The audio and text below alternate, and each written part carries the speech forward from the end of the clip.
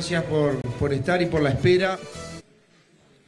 Hoy es un día diferente para mí, es un día diferente para mi familia, es un día diferente para este equipo, pero que lo vivimos con, con mucha emoción y con mucha responsabilidad. Y yo no puedo empezar hoy este breve mensaje que voy a hacer antes de partir rumbo a la casa de todo el Partido Nacional, la casa de todos, que es el directorio del Partido Nacional, sin aprovechar esta instancia para agradecer a, a todos los militantes de todos los sectores del partido, que están hasta ahora haciendo escrutinio a lo largo y ancho del país dejando el esfuerzo y ese compromiso militante que, tanto valoramos. Agradecerle por lo que hicieron en esta campaña, que le pusieron mucha fuerza y muchas ganas.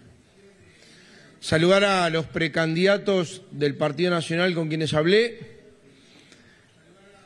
y especialmente agradecerle en esta casa que tiene tanta historia, tanta historia, linda historia saludar a mi equipo con los que convivimos durante meses, esfuerzo, trabajo, programación, giras, eh, con lluvia, con sol, con cuatro vueltas al país. Saludar y agradecer también a, mi familia, a Leticia, a Agustina, a Felipe y a Pilar, que votó por primera vez y votó a su padre. Salió en la tele hoy diciendo eso. Saludar a mi padre, mi madre no vino porque estaba con unas nanas. Mi padre lo operaron del ojo y no sé cómo sacó el parche. A mi hermana y a todo este equipo que lo considero equipo y amigos, una, una familia. Hoy, con los resultados a la vista,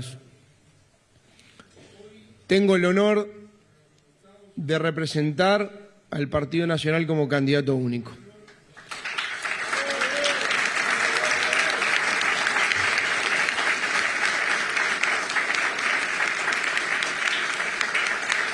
de los honores más grandes que me puede haber tocado en la vida. Siento la responsabilidad y el peso de la historia, pero también lo, lo disfruto como un lindo y hermoso desafío que me ponen sobre las espaldas para poder continuar el rumbo que comenzó con este gobierno coalición liderado por el Partido Nacional y por nuestra amigo Lula Calle Pou. Así que, gracias. Los resultados son elocuentes.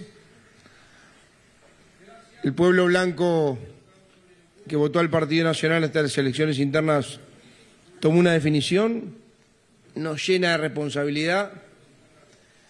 Vamos a ir ahora al directorio y ahí haremos las consideraciones políticas del caso. Vamos a tener una reunión con el directorio del Partido Nacional breve y después un mensaje público donde haremos algunas definiciones públicas que seguramente muchos están esperando.